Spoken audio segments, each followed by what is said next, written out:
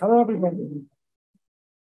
And thank you for coming and joining us and spending time on what is probably the first really this beautiful Friday uh, of spring. Those of you who are academics uh, really don't spend very much time in the seminar room, and those of you who are not are probably wondering why I'm still talking. So um, I'm Stefanos Geroulanos. I'm the director of the Remarque Institute, uh, and I uh, will be your host today. Uh, with me are Amy Nguyen, Sam Paul, and Haley Ackerman, uh, who um, close off the Remarque team.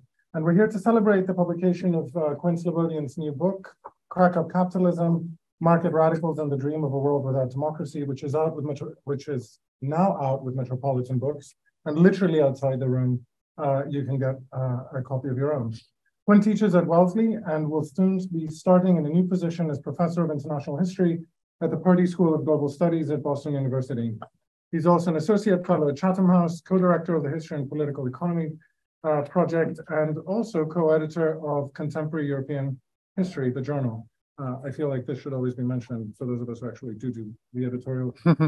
um, now, in his last and award-winning book, Globalists, Quinn offered the then counterintuitive and now canonical intellectual history of neoliberalism as a movement that sought not the liberation of markets, but their protection from politics, particularly from radical politics. That key insight is at the foundation of crack up capitalism as well, which concentrates on the legal and economic perforations, as he calls them, perforations of the state, and all the more so of society as these are established in, uh, let's say, late neoliberalism at this point.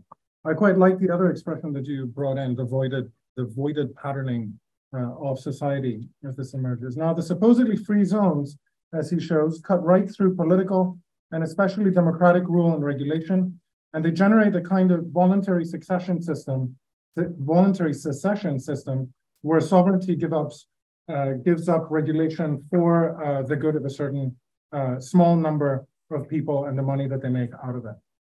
Up capitalism becomes a name for the apocalyptic economics whose pieces we so often glimpse little by little, but which Quinn weaves back together into a single story. And it's a story of secession dreams, of sacrifice zones, of anarcho-capitalism, I could keep uh, replaying and replicating the opposite names that he uses. The story of the way the world is working, as he puts it, and the people who are working to fracture it further. Now, to discuss with Quinn, uh, we have with us Rana Foroohar, who is associate, uh, associate editor and columnist in the Financial Times and CNN's global economic analyst. She's the author of three books, most recently Homecoming, The Path to Prosperity in a Post-Global World, which was published last year. Um, Rana has been central to the new discussions of what comes after neoliberalism. And she has engaged with Quinn's earlier book um, with globalists, for example, in a foreign affairs article from last October, appropriately titled After Neoliberalism.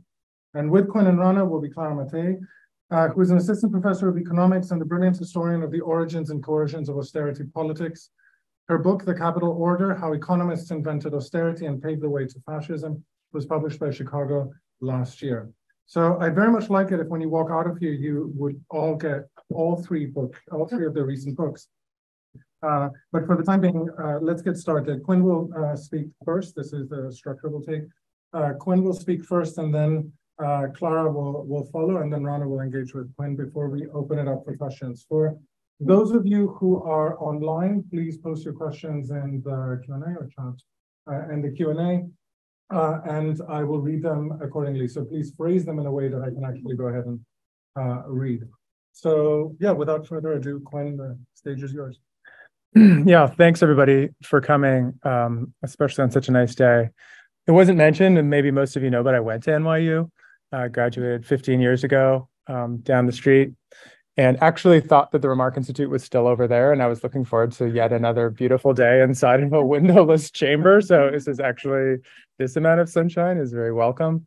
Um, my first class, I think, was with Yanni Kotsonis, and maybe my second was with Jane Burbank, and I TA'd for her. So it's among other things kind of a homecoming too, to cite the title of uh, Rana's book.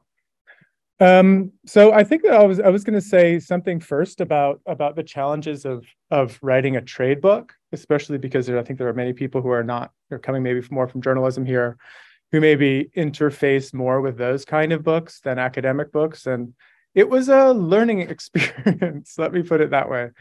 I, I didn't think I was going to be that good at it, but I think I was even less good at it as I hope than I hope that I would be, because it turns out that there's a very specific kind of a skill involved in writing a trade book, which ha- can only be kind of described as surfing the zeitgeist, um, in the sense that, and and this is coming from someone who's never even tried to surf because I know how bad I would be at it, but the coordination involved at sort of figuring out where the wave is coming from, how it's going to look three seconds from now, um, how my body should be positioned to take advantage of that. Very hard and something that academics very rarely, if ever, think about. Right. I mean, if we're not surfers, I don't know what what the sedentary version of a surfer is. We're lying on the beach, I guess, reading. Um, you know, when we write a book, we know, we only know that it will come out sometime in the future. Um, we only really need to sufficiently impress a very small group of people, namely the readers, and then maybe the small group of people who might make a decision about your tenure case or your promotion case or whatever. What happened in the course of writing this book was um, a deep and not always totally pleasant relationship with my editor, which involved her constantly um, channeling a kind of a collective reader or a collective we. So even though she, as a person, would know what I was saying, and I knew what I was saying, she would say, "We don't know what you're saying." And the the the discovery was that when one tries to speak to an ever larger set of concentric circles of potential readers, um, the amount of existing knowledge that they would have about the topic you're talking about sort of diminishes, you know, proportionally. So by the time you get to the large enough concentric circle that a self-respecting trade editor would want you to be speaking to, you have to assume that that that that reader at the marginal reader at the edge of that circle knows absolutely nothing. so then you have to try, try to retrain yourself in a voice that speaks to the marginal reader who knows nothing rather than as everything I think I'd written before, which was to the reader who knows exactly as much as I do right? I mean, when I wrote Globalist, I was speaking to myself. I was speaking to myself in the mirror and say, convincing myself of things. And now I had this exercise of, of um, convincing someone I'd probably never met. Um, so that was hard. And how did I end up? What ended up resulting from that? I mean, the the it was made doubly hard by the fact that the book was kind of sold still at the height of Trump in 2019, was largely written in COVID, completed in the sort of springtime of Bidenomics. Right. So so the level of apocalypticism that America, the American mood was inhabiting at any given time was like very much fluctuating across those three years. There was sort of like things are bad, things are really bad, things are on fire, maybe things are better, maybe the firefighting brigade has arrived to kind of like what how do we navigate to some kind of nor- new normal? The book ends for example with the chinese belt and road initiative which you know when i wrote when I first started writing that in 2019, people were like, "Well, here comes China. That's the that's the future." They've replicated the same sort of coaling stations and military ports around the Indian Ocean, and they're they've become the kind of the new expansive empire, taking on the the um, existing tools of earlier empires. By the time I finished the book, basically all the Belt and Road investments had stopped. Many of them were starting to unwind.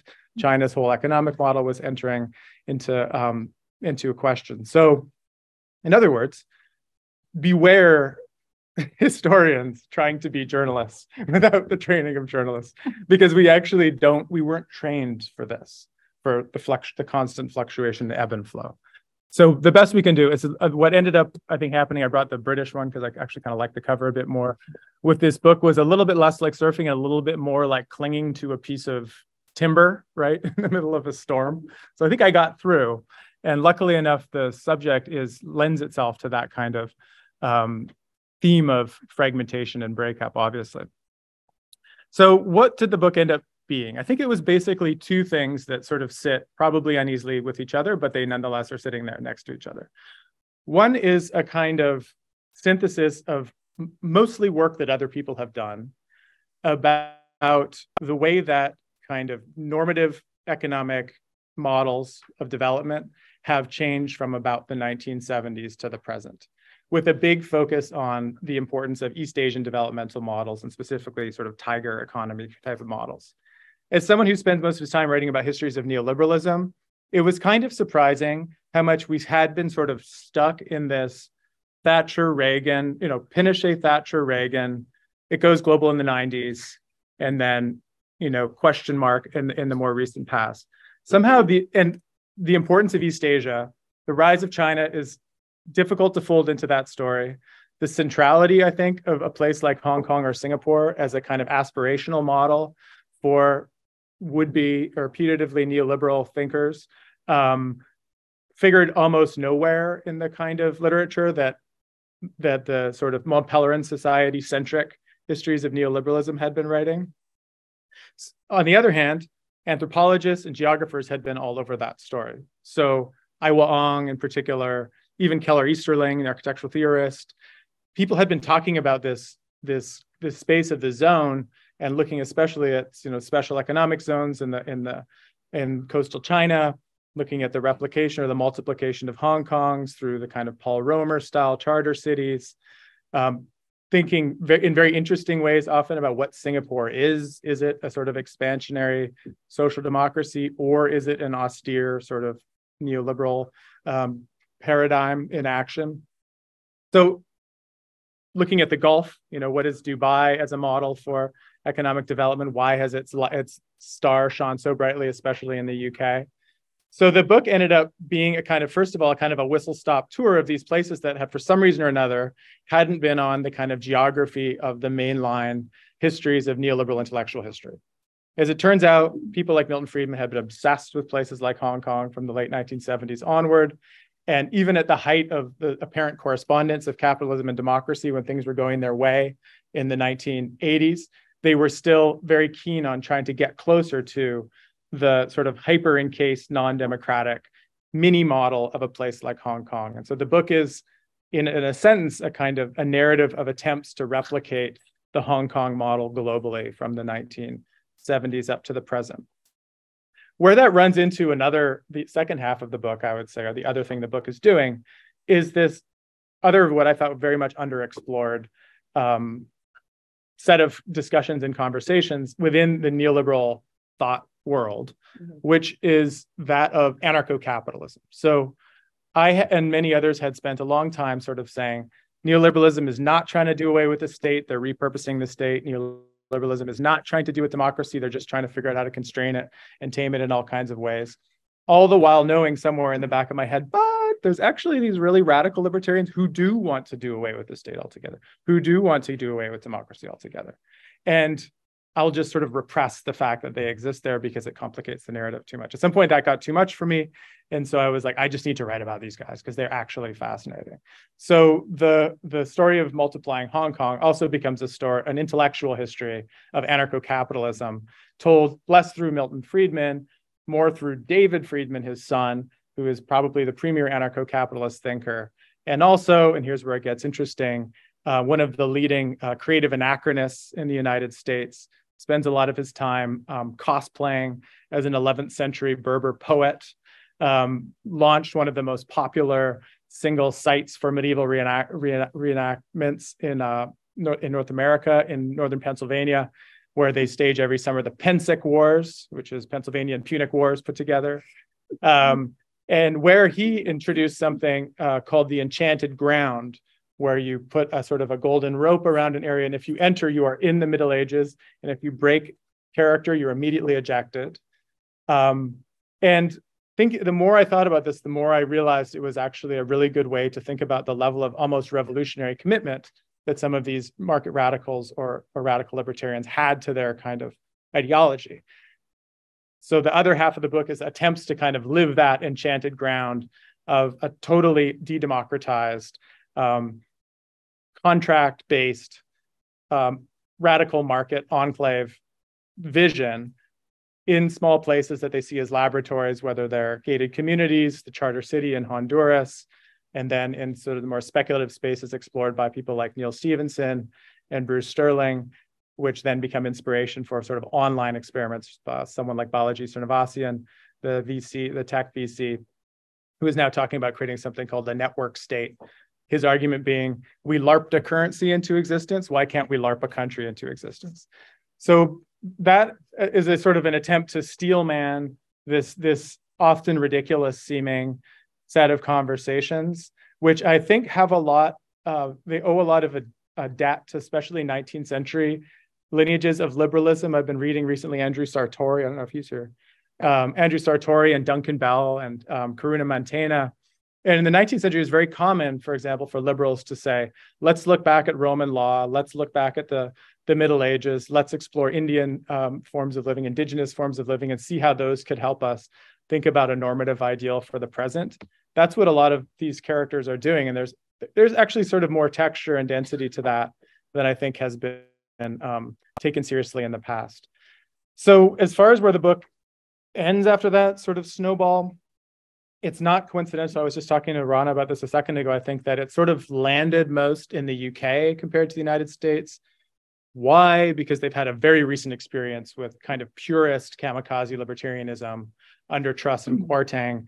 Kwarteng reviewed the book for the prospect or the spectator and basically liked it, said that, you know, at times we sometimes do have to take these revolutionary acts to realize our utopias, and it's not going to be easy, and we need to figure out roadmaps to utopia. Um, so I think that idea of, you know, the island, the, the British Isles as kind of um, sort of small enough spaces within within, within which one can roll out these radical uh, attempts at breaking through whatever this kind of sclerotic institutions that you think are constraining capitalism are. It feels more natural there. Here, you probably have to go to Miami or, in some ways, Florida or Western United States for it to feel as natural. Here on the Atlantic seaboard, I think we feel a little too comfortable for a lot of this to feel as intimate as it does when you're sitting um, next to Westminster. So I think I'll leave it at that and we'll just see where things go. Thank you. Thank you, Quentin.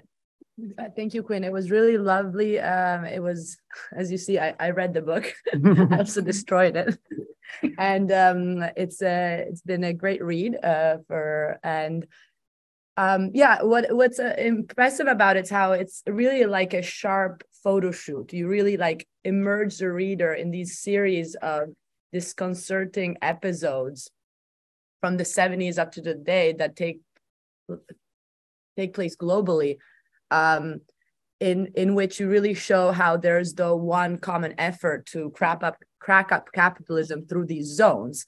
And ultimately these zones um, are places where you can really see how economic growth has clear costs uh, both in terms of less revenue for the state, but more so in terms of wage repression, labor deregulation, and fundamental lack of democracy, right? So this is, I think, very interesting as how you show clearly how these zones are actually places of economic success um, that then uh, Im, Im, implicate that this success is founded mm-hmm. on all of these dark sides that you so well put forward. So one I think of the strength of the book is actually to um, challenge some of the these hard to die tropes uh, of kind of our Western ideology. So maybe I can I will just go through a couple and show how you kind of um, help um, yeah question them.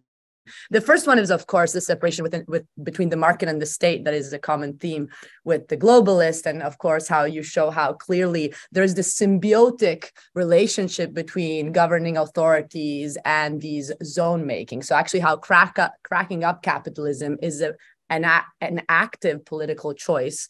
Um, and you showed this very well, for example, you say because the government is caught in a symbiotic relationship with the city billionaires, and this, of course, um, an example that I think is, you know, for us, it's very, it's here. Uh, the fact that Manhattan's West Side uh, has this uh, big uh, headquarter, uh, the Hudson Yards, and it actually received nearly six billion in tax breaks and other government assistance. So clearly, this fact about in, how the market needs to be encased, as you put it in the previous book, is more than obviously clear in the stories you tell here. Um, and in this, uh, of course, you your focus on um, all the actors that surround Milton Friedman and how they're more radical than Milton Friedman in this anarcho-capitalist vision is really interesting. And this leads me to a second, I think, trope that you challenge, which is the challenge, the trope that being an economist, economists buy all the time, which is the separation between economic theory and politics. And it's fascinating here to note how, with just some stories about certain actors, you really show how this is impossible. And one example is, for example, Paul Romer, that is a part of your story. Paul Romer, I've studied him in my PhD in economics as, you know, the great um, growth theorist who has um, engaged in endogenous growth models.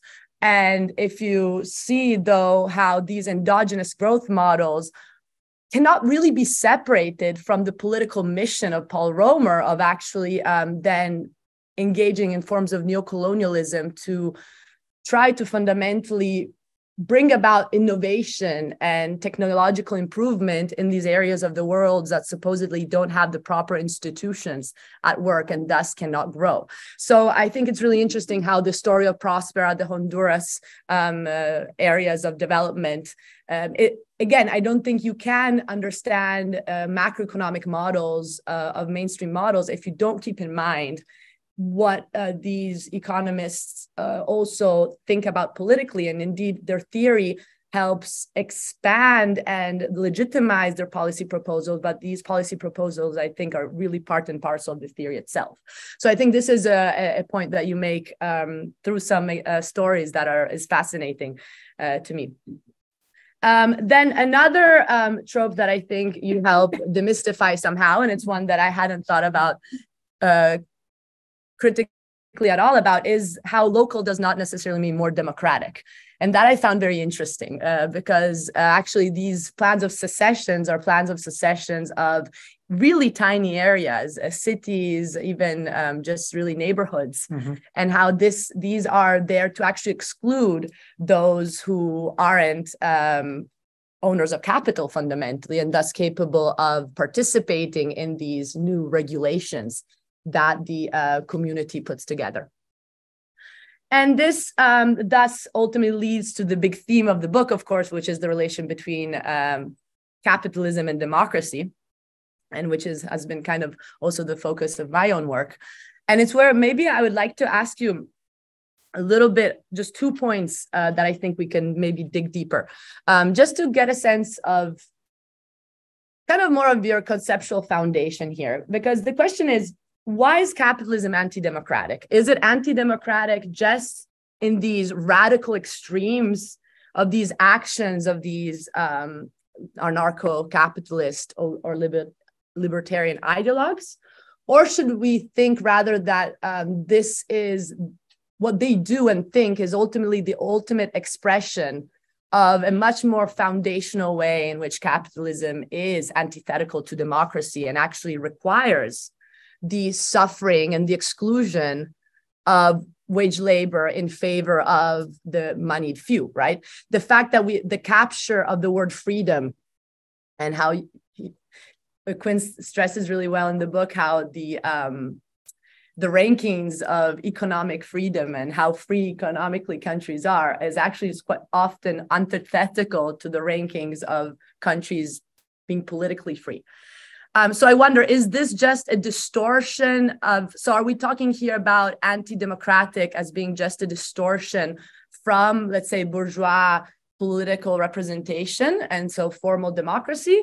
Is this what we mean by anti-democratic, or do we want to go further and say this is actually the way in which a society that is founded on the exploitation of the many um, then looks like if brought to the extremes, right? So this is where I would like to, to ask you a little bit. And this goes with the other point I had, which is it seems to me that you oscillate a little bit between your understanding of the role that the state plays in this book mm-hmm. because uh, on one side it's very clear that the state and all these political authorities are enabling the zone um, even you know giving up money giving up um, yeah just well-being of the citizens in favor of course of again um, increases of economic growth and profit making.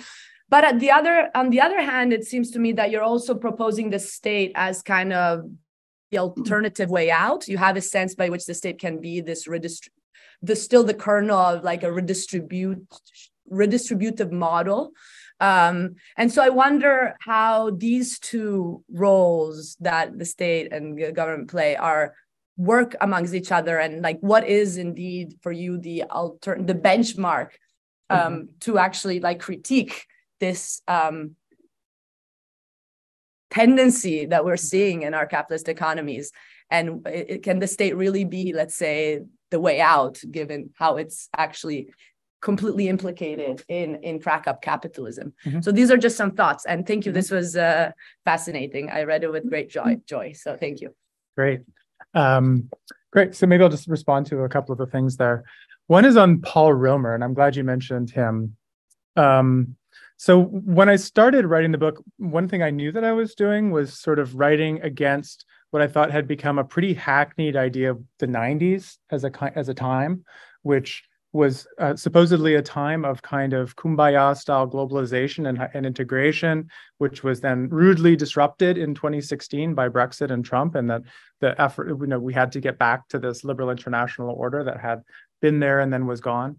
And there it was clear that you know if you just go back and read the newspaper in the 1990s you know most people here were like conscious at that time the the discussions were anything but that there was you know discussions about secession from sort of catalonia to scotland to quebec um, somalia was a dissolved state one of the chapters in my book is about a Dutch libertarian in Somalia in the course of the Civil War trying to write a hybrid of Somali customary law with 21st century business Freeport law and create a grafted version of that. He felt like it was possible because there was no formal state at the time in Somalia.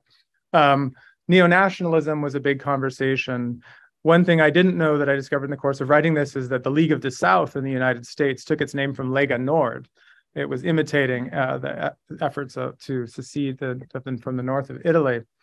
Um, so I knew that I was already writing against that and trying to reinsert this this vision of kind of crack up and fragmentation. Even the kind of stuff that Mike Davis writes about in City of Quartz is very much in line with this, but Hans uh, Magnus Enzensberger and many other observers at the time.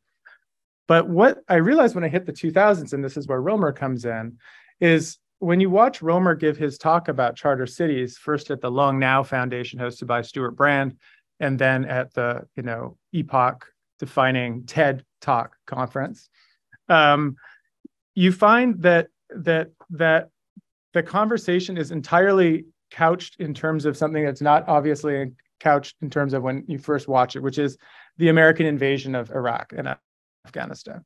That that sort of that sense of, of centrifugal breakup that uh, characterized the 90s maybe being carried out by small fugitive actors, a discussion of kind of a new medievalism through, you know, border crossing mafias and drug dealers and, and things like that and gangs had been replaced by well who's really cracking up sovereignty? It's the united states. And they've they've sort of with the invasion in 2003 declared kind of open season for sovereignty recreation and scrambling and so when romer gives his talk about charter cities he says you know, countries should give up parts of their territory to patron countries. He suggests Canada taking over Guantanamo Bay and actually went to Canada to try to argue that they should do it. They turned him down.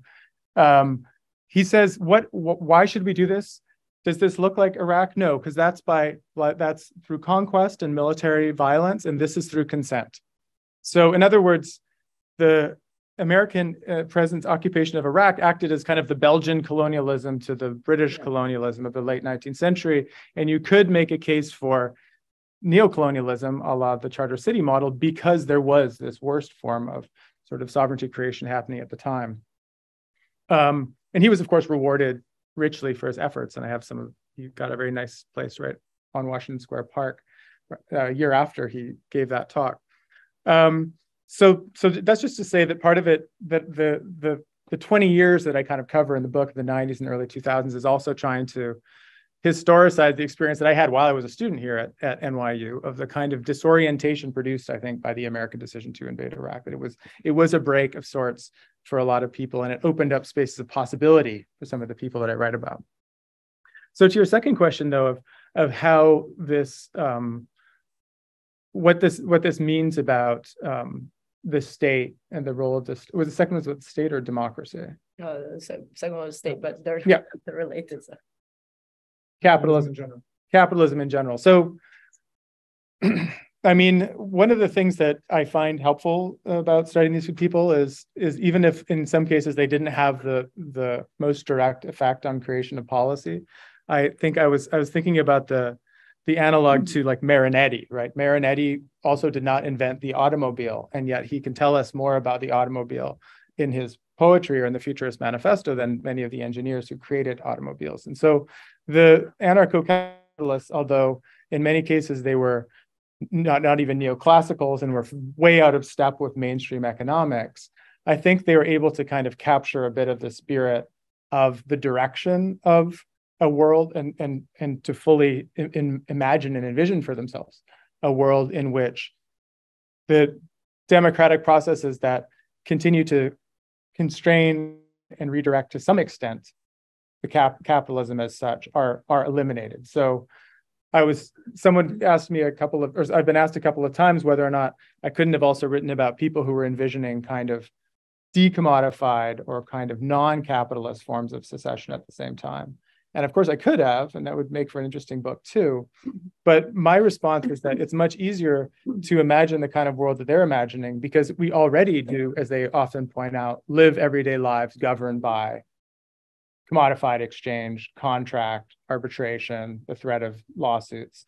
And what they're arguing for is let's just take that one step farther. Let's just say every two years you don't go and vote. And instead, we just have these collectively agreed um, set codes about about um, the organization of possibility and everyday life and so on. So in that sense, I think they're sort of telling a truth about right. the world that we exist in regardless. Yeah. And so in in in that sense, the the attempt to kind of unwind that or undo that is an entirely different project than anything I talk about in the mm-hmm. book, right? I think the the effort to create a decommodified form of everyday life is something that will have a lot further to move than than it would be to get to their utopias because we're sort of seven eighths of the way there already. Um, the thing that I find interesting though is that as kind of immanent critics or observers of capitalism, often they can produce these kind of um, accidental insights or critiques. So this is very much true for a lot of these people who are, in many cases, gold bugs, right? They don't they don't believe in fiat currency. They believe in 100% gold backed currencies.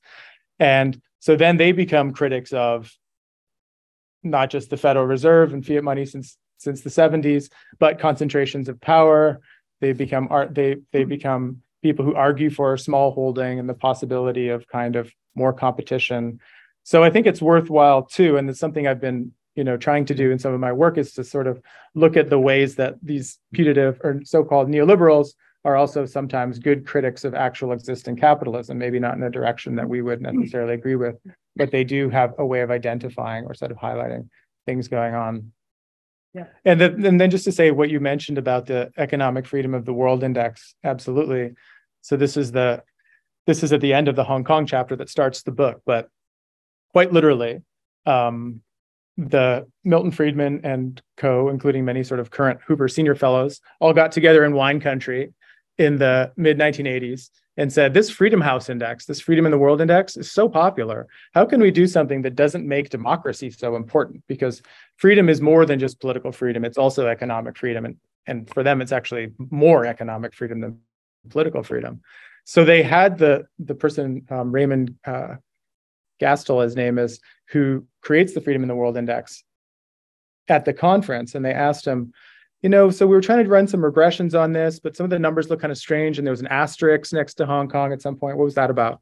And he said, "Oh yeah, well, if there's a if there's an asterisk, it's because uh, my opinion changed about it during the course of the year." And they were like, "Well, what do you mean your opinion?" He's like, "Oh, I don't know. I just I felt it was less free than it had been at the beginning of the year." And they were kind of like, "Wait, are you serious? This is how you're making this, you know, internationally renowned, frequently cited, used as an indicator, and plugged into formal models." That's all it is. And turns out, yes.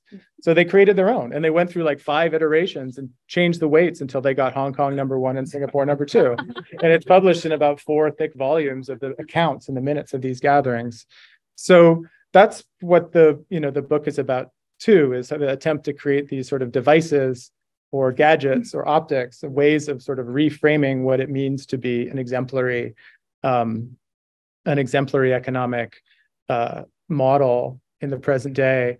And the thing I find interesting about the special economic zone or the zone is that regardless of how many times it doesn't succeed or it fails to bring in new investment or increase growth or or succeed in any sort of economically measurable way, it continues to be reproduced. I mean, I have, as you can imagine, a Google alert for special economic zone, and every day it's like, especially sub-Saharan Africa, mm-hmm. you mm. know, more and more and more of these things are being rolled out, and they um the question for me is less, you know, why do they work or not work, and more like how is it that our imagination has been so impoverished that this is the only idea that we have is to sort of ring fence part of national territory, free it from the usual laws and regulations, and make it a kind of non-democratic Hong Kong in miniature. Why has that been such a durable idea against all kind of evidence? You know, to the point that you know Truss and Kwarteng tried to do it to a whole country. And in many ways, Sunak is in a slightly more moderate way trying to do that still. Yeah. So that that's also the kind of the kind of question that I think I was pursuing was the the um, the narrowing of of political economic imagination in a way that isn't captured in the usual narrative, which is like either globalization or nationalism, right? I mean, that doesn't explain well how capitalism works, as any self-respecting geographer will tell you, and it also doesn't even capture well how political ideology works. Yeah, and just uh, one last comment is interesting because as as as you show, like these economists and not just economists, of course, all, the all these different actors capture the word freedom to mean economic freedom of the saver investor but they ultimately as you were pointing out they were, they're exposing the reality that this economic freedom is based on what you call milton friedman's dream world labor is obliged to go wherever capital directs it for whatever it chooses to pay mm-hmm. so i think this is interesting is that in the background you are saying I mean, they're aware that all of this is possible because mm-hmm. of this constant wage repression and this this economic freedom is based on this unfreedom of everyone else. So it, it's interesting to show how indeed they are critiques in the sense that they expose it in their very yeah. uh, doings and ideas in a very clear way. Yeah, and it's not just wage repression. I mean, it's two tier models of citizenship, Absolutely. right? I mean, Singapore and Dubai, number of non citizens vastly outnumber the number of citizens and the model would simply not work without that model of sort of hire and fire and deport. And yet, sort of self respecting people on the right and sometimes the left will talk about the model as if it can somehow have that removed. So, I one response to this was someone said, well, Dubai actually is a, a, pretty good place. It is a success in spite of some of its economic policies. And it's like, no, it's it's a success because of its economic policies. Yeah, exactly. And the idea that you could um, try to reformat a large industrialized or formerly industrialized economy on a model like that, which would require sort of the disenfranchisement um, of three quarters of the population, or the somehow the movement in and out of, of of of bodies to produce that kind of a ratio, is only shows just how few actual ideas are still circulating. I mean, I love Branko Milanovic but you know, his conclusion in capitalism alone is like we basically need a Gulf style guest worker program in the United States. And this is sort of, you know, n- not where one would hope the most kind of adventurous theorist of uh, rebooted social democracy might end up. Yeah. Thank you. Um, wow, awesome. You know, I have so many thoughts. Um, First of all, I want to thank uh, Quinn for inviting me to do this and the Institute as well. Um, Quinn's book, The Globalist, was really one of my sort of baseline readings um, for my own book, Homecoming, which tackles a lot of these topics in sort of in a very different starting place, but but we get to some commonality, which I want to I want to draw out. I am a surfer. I am a, a journalist. See? I am not an academic you and you are boat builders um, and we need these boats. I mean and i kept coming back to your sort of intellectual boat as i was surfing the political waves and both things i think are really important right now for for moving the dial in a positive way. Um, i just want to share actually because i was I, I, I, just love how you're ripping apart economic models and the sort of um, I think one of the fundamental problems with with um, the economics profession, which is the failure to acknowledge what cannot be modeled and or what is not, at least what is not being modeled well. Um, and one of the starting, actually, the starting point for my book was a conversation that I had, um, and I'll bring this up because it ties to your work with um, the former labor leader Richard Trumka, who passed away, used to be head of the AFL-CIO, and I, I went down to ask him, you know, what were the conversations that the American labor movement was having in the 1990s and in the run-up to China and the WTO? What were you being told? Like, how basically, how did this go so badly? Um, and he said that a policymaker who will remain nameless um, from the Clinton administration had come to him and said, look, we know that um, some of these deals are going to be tough for U.S. labor and indeed for labor in a lot of OECD countries. And um, but don't worry, eventually there's going to be a leveling up, and wages are going to equalize globally. And in the meantime, you're going to get a lot of cheap stuff. And Trumka said, well, how long is that leveling up going to take? And the policymaker said with a straight face, three to five generations. so, like that's what we're dealing with here. Um, and also, these are the same guys that are saying that Dubai is sustainable. It has an indoor ski slope. I yeah. mean, in a country that is 110 degrees. Yeah. Okay, we'll put that aside for a different different conference. Mm-hmm. But um, so one of the things I'm wondering um, is the balance between global and local. I mean, you know, you so well make the case, and I'm very proud. I have, you know, a galley, which these are, you know, tough to come by. Um, uh, you make this case of how well capital has been able to fly at 35,000 feet above the concerns of the nation state or indeed the concerns of democracy in general. I'm going to, um, as a surfer, I'm going to bring you, you into the present moment. One of the things that I find maddening right now is the way in which even as we have this opportunity in a potentially de we could call it deglobalizing but let's call it de-risking world in which we've kind of had a scrim pulled up in the last 15 years between the financial crisis covid war in ukraine. We're like oh okay you know maybe super globalized capital is fragile. Maybe you shouldn't get your energy from an autocrat you know? There's this moment and yet you've got as policies are being developed with for example the inflation reduction act You've got European companies coming in and arguing, we don't want to say uh, union labor is going to be preferent, uh, you know, treated preferentially. We want to say domestic labor, so we can take all the jobs from Denmark and put them in, you know, Georgia or wherever. Why? What is? Why is labor not grabbing this debate? And and how can how can labor take this narrative and really um, I guess I guess what I'm asking is how can we see the positive side of this instead of you know as you so well do just really really focusing on how the capitalists have kind of devoured the world and Elon Musk is going to I don't know fly into space and um I know that's a hard question but. it is a hard question so I mean I think one thing one of the ways that I've thought about how this this worldview and the kind of machinery and the kind of engineering that I describe in the book relates to what might be a more post neoliberal moment that we're moving in now is to indeed continue to pay attention to the subnational. So um, Clara mentioned this example of the Hudson Yards, right? Getting enormous tax breaks because I don't know how many people know this, how well known is in this part of Manhattan, but like they gerrymandered this thing so that it was supposedly part of a distressed economic zone in East Harlem. So therefore, it was considered, you know, to be worthy of all kinds of special um, treatments. And the, you know, the Amazon headquarters too is the same mm. thing. Lots of people write well about this. Samuel Stein has a great book about this, and Timothy Weaver has a book which he talks about a lot of the things I do in the book, which is, you know, Canary Wharf as the first example, quite explicitly, as I describe in the book, of an attempt to do Hong Kong in the middle of um, a country very much unlike Hong Kong.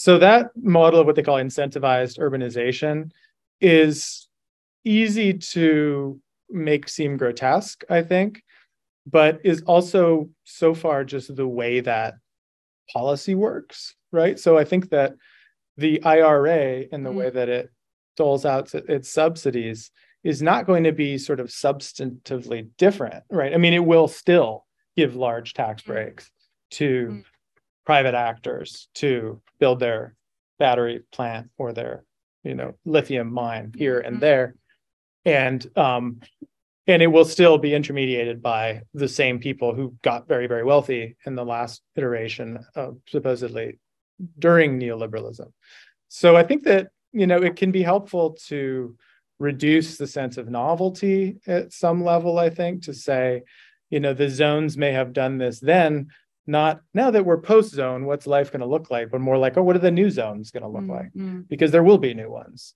And um, and the the sort of the the tax competition between states and between municipalities is not vanishing, Mhm. right? And that's still following this kind of the same logic of of competing in a zero sum way for investor dollars.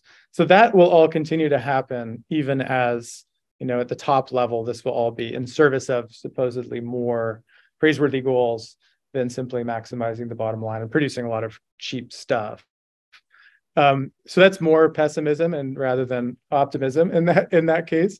I think that to put it more positively, zones are not necessarily bad things. I mean, this was Clara's point too. Like this, the realization that you had that, or the, one of the things that I really drove home is that like the local isn't necessarily more democratic, right? Right. Case in point being the the the burst of gated communities and you know homeowner associations in the 1990s in, in this country that was sort of editorialized by the mainstream press as like another sign of the growing social ennui and the distance and the way that mm-hmm. people aren't around each other anymore. And yet, to the libertarians of the Cato Institute, whatever this, they were like, these are amazing. Like we've completely done away with the usual ideas of one person, one vote. Um, we have, you know, your control is based on the size of your unit, the number of your units, and we're redoing kind of like an estate system, like in miniature. Um, so that's the bad version of kind of doing zones, but you know, if you think about zones as just as sites of, of greater intensity of economic activity enabled by sort of state incentives and inducements, then what happens inside that I think is still open to contestation and and right. So if you make that then a, a zone where one has better access to daycare, one has better paying jobs, one has the right to unionize, then Right. then it's a good zone. Right. And I guess that's what, so in your sort of crit- overall critique of capitalism, I'm, I'm thinking a lot about this right now in terms of how we take this moment and, and take whatever opportunity to structure things in a better way Mhm. can be taken. Mhm. Let's put aside, you know, the, the particulars of a policy like the IRA or what Europe is doing with chips or, Mhm. and let's just say, do you think that there is an opportunity if we are moving into a place where I think, you know, even neoliberal, many neoliberal, although not all, uh, economists would agree that growth for its own sake is is not sustainable and you know in really in any fashion and to that point i actually agree with um you know you mentioned the gold bugs Mhm. um it's fascinating to me that i get more smart critique of of uh, late stage capitalism from hedge fund newsletters than Mhm. in than in many other places it's Mhm. it's really quite striking and i got the most feedback on my first book about financialization Mhm. from like you know the george soroses of the world not Mhm. because of open society but because they're thinking about how is this going to affect their portfolios Mhm. um, so could you imagine different incentives if we if we assume that growth needs to be inclusive and sustainable is there actually a better way forward um, you know in some uh, more localized way uh, you know Mhm. help me to understand that Mhm. dot connection Yeah, I mean, this is partially why I think this was a change of of subject from the globalist book in and it relates to what you're saying because the idea of the glo- of globalists and the idea of like this Geneva school of neoliberalism that I introduced there is that the sort of prime directive is like protect the whole, like the Mhm. totality of the world economy is the thing that needs to be preserved and capitalism you know requires different solutions and different fixes at different times and often nations sort of play spoiler and dem- democratic nations uh, even more often play spoiler to like the smooth functioning of the whole so there is a kind of like long-termism built into that and a kind of like a utilitarian attitude towards the kind of policies you choose. Yes you have your first principles but occasionally you can stretch them and bend them if you need to do certain things to make sure that you know competition you know con- continues to produce growth or whatever. The interesting thing about these people and the crack up capitalists and i think it is a bit of a difference of a generation from the sort of hayek friedman era of high growth sort of golden age 50s 60s 70s to a kind of post 70s more declensionist kind of um, fear that the good times are not going to return is that the idea of the totality kind of goes away. And the crack up part is the is, is a lifeboat attitude rather than a globalist attitude, mm-hmm. which is like, let's build a lifeboat and make sure that it's well fortified and make sure we have enough of our supplies on board and let's get out of here. And so the timeline of modernization, you know, which which you know was so familiar from the 40s to the 70s that all countries and regions were sort of marching along at different rates, but somehow still coevally, um, is gone. Mm. There's no expectation that most of the world population will make it, that will be part of anything productive here. If you're a gold bug, you know, you're taking for granted that the world economy as it exists now cannot continue to exist because right, if you right, go right. to 100% gold back yeah. money, everything stops. Yeah. And to some people, some people think that's just like a KO punch against the gold bugs way of thinking, but to them it's not. It's just like, yeah, that's right. And we will all withdraw to the free state of Texas and the rest of it will burn. right. And you're like, well, I guess that is, I suppose that is sort of like a reasonable conclusion from your own premises. Um, so in that sense, I think if that's not the world you want, which is obviously not one that any of us do, then the question is, you know, at what scale do you begin to kind of expand the space of provisioning, the space of um, adequate attention, adequate care? And that I think is the question, right? I mean, the way that globalists was sort of misread by some left populists, left nationalists, uh, Wolfgang Streeck in particular, and, and some um, even right-wing nationalists, was that it was a defense of nationalism, mm. that the, the, the community of fate is the nation. So the globalists need to go so that we can get back to the proper unit of governance, which is the nation. Uh, I don't agree with that. In fact, I think that was a misreading of what I wrote in that book. And part of this is a kind of as a trying to open up i think the question of like well where's the scale? Mm. i mean the united states is a is a very decentralized place and so you have a lot of options right? You yeah. state level you have city level you have municipalities you have counties. Um, so i'm not equipped to answer that one very well because i think it's very it very much depends on circumstances and the kind of economic activity you you you know you want to be up to but i do think that that one can rebuild spaces of like dense and and and um, and vital democratic decision making at very small scales and then and then move them upward so i'm not i'm not a pessimist that that's possible. I just think that that's not the direction of travel. Um, let me ask you just a couple more quick questions and i guess we'll open it up. Um, first of all i i i the gold bug scenario that you sketch, which it always, it, I, I, always think about this with these sort of hyper libertarian techno, whatever you want to, you know, however you want to frame them is like, who's going to smelt the steel? Like, who's going to, you know, I never quite understand the mm-hmm. fantasy, but the fantasy is actually changing in some ways. It's becoming not about owning gold, but about owning um, commodities, which mm-hmm. is sort of interesting. It's a little mm-hmm. bit more of a Mad Maxy, you know, mm-hmm. sort of future. Mm-hmm. Anyway, um,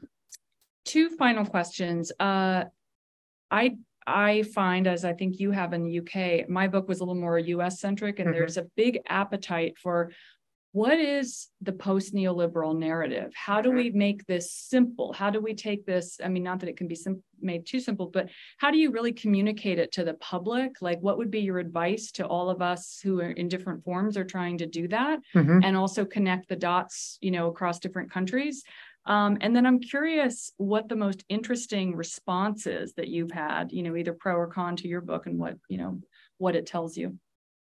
Sure. Um, one of the things I really struggled with, especially at the level of kind of writing and metaphor, was to try to figure out how to describe the desires of people like so Hans Hermann Hoppe is one of these very radical anarcho-capitalists, and he wants to turn Europe back into a, a, a continent of 1,000 polities. Right? So we're going to go back to the year 1,000, minimum a thousand different small polities, you know, duchies and so on. Um, but he wants to remain completely globally interconnected. So he wants to have access to all of the world's um, goods, you know, potential movement of migrants, the ones that you want, um, you know, an, an, interconnected global economy for for monetary purposes and trade purposes, if not for immigration purposes. And I didn't know how to describe that vision because we have a whole set of metaphors from the 90s, sort of Appadurai type stuff, right? Like scapes and flows. And, and we have an idea of of, of everything being constantly moving, nodes uh, in networks. Mm. But the idea of being sort of simultaneously cloistered while hyperconnected was something that kind of eluded me and still does in some ways because they're secessionists and people hear that and they're like ah so they want to go and like sort of live off the land or something well no they want to secede and yet remain hyperconnected um, so i think that you know as as far as a narrative that we should move towards i think it's not necessarily i think there's something to be learned in inverse there which is which is we don't just want to inverse the scale and say we just want to go local and we need to just think about our own people in our own backyard. Because then you do i mean i live in new england.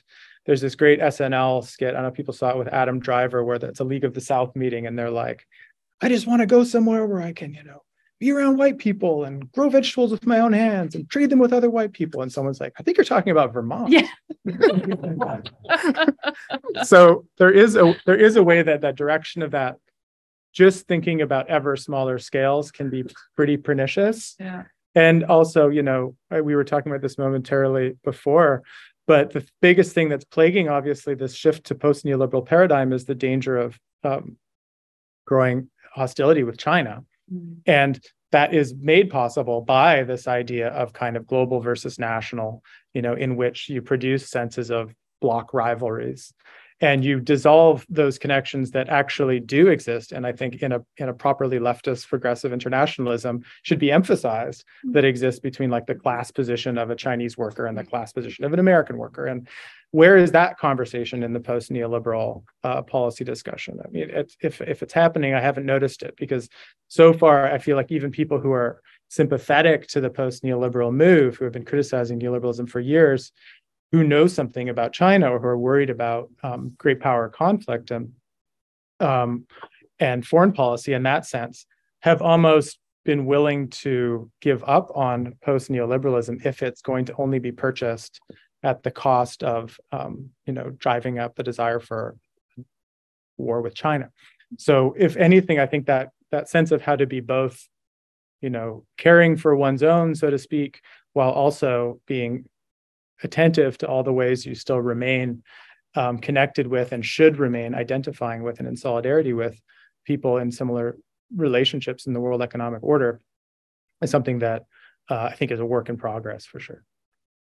Well, I loved the book and I loved Globalists, and thanks for talking. Thank you. Appreciate it. Yeah. Okay, so I'm going to take chair's prerogative. Before you get too far away from from the way in which you answer the question, Clara's question around capitalism, and the way in which you evaded the uh, point on labor. Mm-hmm. And I'm very curious with what's with about what's there. Is there something? Is it more that okay? I guess I can't make a binary, but I'll make a binary. Is it more that you're trying to avoid discussing labor because it is necessarily a sort of very sort of clouded or you know, unclear, relatively obscure figure in the way that people think? Mm-hmm. Or is it more that this is an effort, rather than appeal to labor as a sort of counter or to present it as a counter, to think of this as a sort of, or maybe to think of both books as a sort of discourse on voluntary servitude, in which people sort of end up accepting a certain kind of scenario and mm-hmm. then submitting to it. And there's a kind of revelatory function that you're playing bringing this in, whereupon the revelatory or the immanent critique function that you play mm-hmm. is one that sort of de facto cannot uh, appeal to labor as a way out. Um, I guess I could answer with a, an anecdote from the from the conclusion, which is from the parable of the sower um, by Octavia Butler, wonderful book. And at one point in the in the novel, her family has been living in this sort of self-fortified community and the, the, the perimeter has been breached and so on, places have been burned, everyone's been um, attacked. And so they need to find a new place to go. And the place that they have in mind is uh, a desalination plant on the coast that is owned by a multinational conglomerate. And if you enter it, you lose your status as an American. It's sort of a deterritorialized space. Uh, but you get shelter and sort of protection from the world beyond and some kind of work. Um, she's we're reflecting on the main character, and she says, "You know, I know this situation because I've got a bookshelf full of science fiction novels at home that my mother and my grandmother used to read. And this is a common scenario, which is like the person, the, the antagonist, protagonist is in a company town and they figure out a way to kind of overthrow the company town and escape. He's like, but in real life, we try to get into the company town. And that's always how the world has actually, ever actually been able to overthrow the company town. But I think there's a there's an insight there which is probably you know something that I'm implicitly getting to in the book, which is there is this kind of like a lovely phrase in the title of that recently published book, a mute compulsion in in in the way that one's labor ends up being kind of conscripted into these forms of governance, even against your better judgment. But I think it's also, you know, the 90s, early 2000s sort of pivot or crux of the book is also relevant here. So I was also just rereading um, a book which I hadn't read since it was published, which is The New Imperialism by David Harvey, which I'm sort of starting to see as like a very epoch defining book, partially because of his introduction of this idea of accumulation by dispossession, which is now, I think, the, the subject of just almost like the default subject of a dissertation now, if you want to start in the social sciences or in history, and that, that focus on land, focus on the tangible.